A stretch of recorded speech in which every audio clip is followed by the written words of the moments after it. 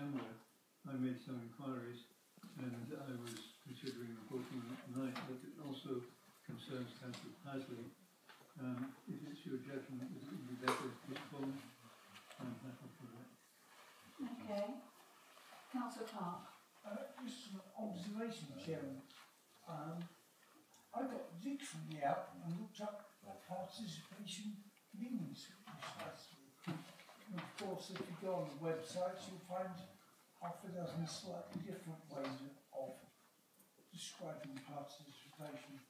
But all of them involve taking part. And what we have at present it appears to me that the general public are not taking part. They, they are addressing the council.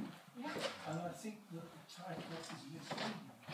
So we could either change the title to reflect what actually happens, or change what actually happens.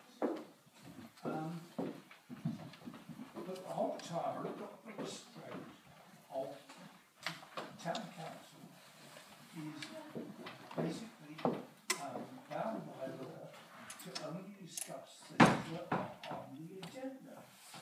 And we can't go off, however interesting and important things are uh, raised by the public, if it's not on the agenda. I'm, I'm almost thinking we need two meetings. We need a town council meeting where we go through the formal agenda and we need regular meetings between town councils and the general public to discuss they want on the agenda. I, I'm just thinking aloud, I haven't got firm views on this, but um, at present I don't feel that uh, what we're providing on the agenda is making anybody happy. Thank you, Councillor Clark. Councillor Moore. Council Ward